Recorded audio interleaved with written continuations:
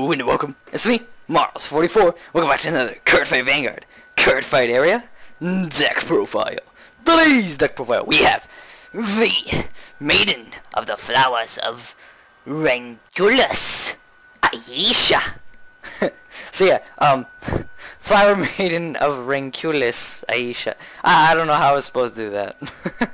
um, anyways, yeah, with the, you know, Vanguard G releasing, um, uh, we got a, a Neo Nectar deck that came out and support for it too. And um, Neo Nectar's not a clan we really see often, but definitely a lot of fun um, to use and abuse. And well, yeah, it's just a really good deck overall. Um, very very solid at doing the Neo Nectar thing. Anyways, um, yeah, uh, let's just go right into the deck. I believe this is after booster set 2 of G. Uh, don't don't uh, quote me on that, but I believe so. Um, anyways, our starter is Spring Awaiting Maiden Oz. Oz. She's she's the daughter of the Wizard of Oz. Um, and her skill is Generation Break 1. Uh, Counterblast 1. Put in your soul. Choose another one of your grade 2 or less rear guards. Search your deck for up to one card with the bleh, with the same name as that unit, call to rear, and shuffle your deck. So just you know, tutor, like always. Good setup. Yeah, pretty much. And then we have four Flower Maiden of Renculius, Ahsha on the grade 3s. Sorry, I forgot to say that part. Uh, what she does is Generation Break 2. During your turn, if you have another unit with the same name as this unit on your Vanguard or Rearguard, this unit gets 5,000 power. Um, and another skill is Counterblast 1. During your turn, when your G unit stride, you may pay the cost if you do choose one of your rear guards, search up to one card with the same name as that unit called to rear guard, shuffle your deck, and the unit called with this effect gets power plus 2000 until end of turn. So, um, yeah, pretty strong card. Uh, just getting your pluses um, and getting the power on having, you know, the same units as the units you have on Rearguard Circle. The normal Neo Nectar stuff, but just a really, really solid, solid card. Um, yeah. Um, and then we also, our other grade 3 is 4 Vegetable Avatar Dragon.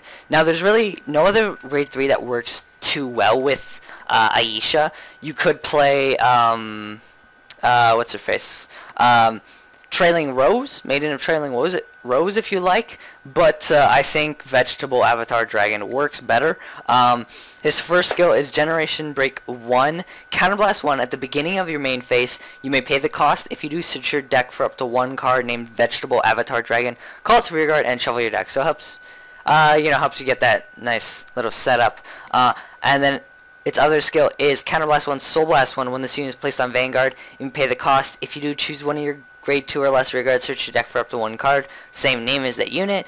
Call it to rear guard and shuffle your deck. So the only reason I chose this one over Maiden of Trailing Rose is this one's more consistent and you don't need, you know, a Persona Blast, uh, which which definitely makes it more consistent. Um, and I mean, normally I don't use this Generation Break 2 skill. You can use it if you want, but that's not what I normally use. I use its uh, on ride skill, which is pretty handy for setting up, especially if you didn't get Ahsha.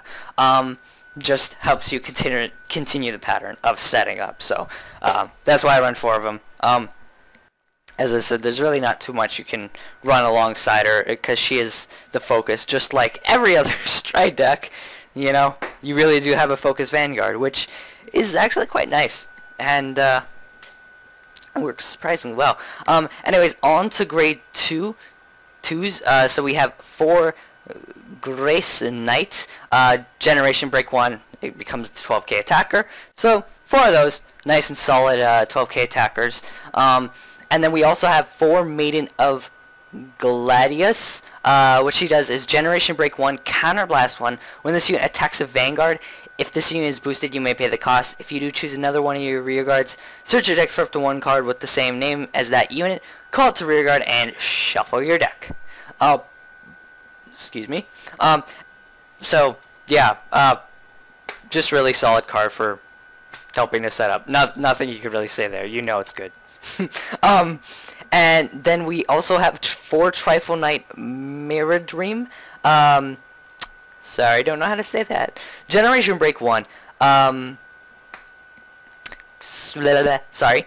Counterblast 1 and Soul Blast 1 put this unit on top of your deck, and at the end of your turn you may pay the cost. If you search your deck for up to two cards named Trifle Knight Mare Hope, call them to rearguard and shuffle your deck. So there's a grade 1 that goes along with it. It's kind of like the, um, oh, what's the, what's their name? Um, I'm trying to remember the name. It's it's pretty much like uh, ah, here she is. Maiden of Cherry Bloom and the other grade one that goes along with her. If they hate, you know, you get the Cherry Stone, but this time you get two. Um, and, I mean, you don't even have to hit. It's the end of your turn. So, it gives you more of a setup option um, to get two grade, two, two uh, grade ones that are the same name uh, in your back row, and then they can actually one of them can actually go back into the deck to bring one of these out. So, um, and then vice versa to bring two out, put one back to bring one more out, and it can it can just continue the pattern, and it's actually really really solid. Um, it works very well with the deck, and is just uh, definitely one of the uh, strongest cards for Neo Nectar because of just how Neo Nectar works. Um, uh, anyways, let's move on to grade 1. Uh, so we have 4 Maiden of Passion Flower. Uh, so 4 P-Guards, pretty standard uh, on flipping ones because you do use quite a bit of counterblast and um, there's a uh, G stride unit. There's a stride unit that you can use, but it's like three counterblasts, so it's quite a hefty cost. And I mean, you can use it if you can get her off, so uh, it's not too bad. It's yeah, but um, it'll let you just do more your Neo Nectar thing. Um, so pretty solid. Uh, and then we got four stride enablers. You know, searches for Ahsha gets plus two grade, standard stuff. Um, and then we also have four Trifle Knight Mare Hope. So this is the uh, version go that goes with uh, Mare Dream. Um, so what it does is Generation Break 1, put this unit on the top of your deck, search your deck for up to one card named Trifle Knight Mare Dream, call to rear, and shuffle your deck. Um, it's not, yeah, it's not specific, so you can do it. Yeah, you got to do it on your main phase, but uh, after you've gotten two of these, you could just put one in the deck, get uh, Mare Dream out, and then if you want, call a Grey One to rear guard or something. Um, but yeah, it's it's big on setup, and Neo Nectar just loves these cards, don't they? um, surprisingly, this might actually be quite a short deck profile. And then we have one, uh, Arcane Musketeer, Sunana, uh, Su Susanna, um, you know, the Soul Blast 2 draw. Um, I just play this card situationally. Uh, you could trade this one card out for anything you want. Uh, I just play this situationally um, because, you know, you're not going to Soul Blast. You do use the Soul a bit. Um, not a whole lot. It's it's mainly the grade 2 uh, that uses it. Um, the, the one that switches out for uh, Hope. Um, so it's not a whole, whole lot, and this will just let you use it. Uh, I mean, you have the grade 3, but you're not going to really use it unless you don't have Ahsha, because uh, Ahsha is your goal. Um, so I just have one of these because uh, just get an extra card, and there's no really other there's no other card that you can really play in the deck. That's one of. I mean, if you find something you'd rather play, go ahead and play it. It's just there's one card left to play, and I was kind of like, well, I'll play this card because it's situational. So might as well um, put something that's situational. That's only one of, right? Um, anyways, on to triggers. So for Queen Musketeer Danielle, Knight Queen Musketeer Danielle, and for uh, the Dungan Chestnut. So eight crit, uh, you know, standard eight crit stuff. Um, I don't know what the new critical triggers look like. Oh, wait, sorry. My mistake. It's not 8 crit. It's uh it's 12 crit.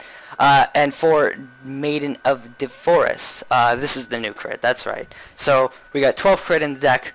Uh, 12 crit Neo Nectar. Um, I think it's very good because I find the draws don't really work just because of the factor of, well, the draws are kind of eh because you really do get so much from your uh, superior calling. It's ridiculous. It's it. I yeah. Um, I don't know. I draws just don't really work. You just get so much from uh, what uh, Neo Nectar does so fast and just yeah.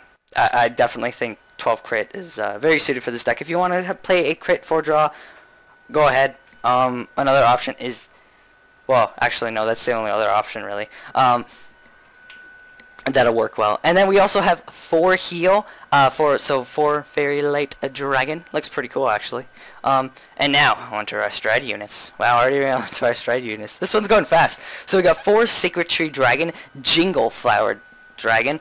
Uh, I thought it's a tingle flower dragon, but okay. Um, um, so once per turn, choose a face down card named Sacred Tree Dragon, Jingle Flower Dragon from your G zone, turn it face up, and if the number of face up cards in your G-Zone is two or more, choose one of your units until end of turn that unit is con continuous. During your turn, all your units uh, all your units get power plus 2000 for each unit you have with the same name as this unit. So say your whole back row is Mare Hope, that unit would gain 6k. I'm not sure if all of them gain. Um, all your units get power plus 2000 for each unit you have with the same name as this. Okay, so yes, all three would get 6k. All Mare Hope. And that's uh, what makes Mare Hope so good. And also, you know, just what, what the deck can do, too. Um, so it'll just help you basically just set up for Mare Hope. Um, uh, they'll gain 6k, so they'll, be, they'll all be like 13k boosters. Um, it's not a whole ton of power, but it is quite a lot of power, especially on a turn for stride. Um, it's not like 20k power, but I mean that'd be pretty broken. We superior call too much in this deck. You know what I mean? That'd be broken. But yeah, it's it's still. Uh, I'm not trying to say it's bad. I'm saying it's really good. But you know, I I don't know what I'm saying. I'm used to I'm used to playing something like Kagura, so this isn't something I'm too used to. But uh, I see how good this is. Um, so yeah, just very very strong. Um, and then we have three Flower Princess of Spring Color Arborea. Um, so what she does is when this unit attacks hits a Vanguard, you choose one of your rear guards, search your deck for up to one card with the same unit. As that unit, call it to rear guard, shuffle your deck, and the unit called with this effect gains 2k until end of turn. So, uh, yeah, you can basically have a 9k booster, and behind a, you know, your 12k beater, um, it'll hit for 21, so a nice mark. Uh, this card is just pretty good because it helps you call copies, and also, unlike some others, this card actually gives it a boost of power, like the Royal Paladin one you just hit, but and call something. But uh, this one gives us a power, and that's that's actually really good, especially with the 12k beater in front. So uh, very, very, just very solid. Um, and it'll help you get clones too quite a bit. Where yeah, um, and then we also have one Flower Princess of Spring's Beginning. Primavera, uh, what she does is Counterblast 3, choose 5 normal units from your drop zone, put them on top of your deck in any order, and choose 2 cards from your hand and discard it. When this unit attacks a Vanguard, you may pay the cost. If you do, choose up to two of your rear guards. Search your deck for up to two cards with the same card name as each of those units. Call them separate rear guard and shuffle your deck. So she kind of sets up. Um, she she basically helps you put triggers.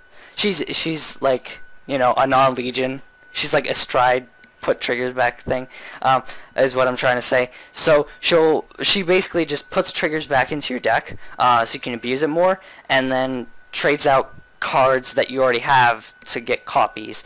Uh, she's not terrible, but I really only play one because the Counterblast 3 is huge, and it'll just if you use her right off the bat or something, it'll just burn through your deck. Um, so she's very, very situational. Uh, I recommend going with um, the the color uh, color Arborea.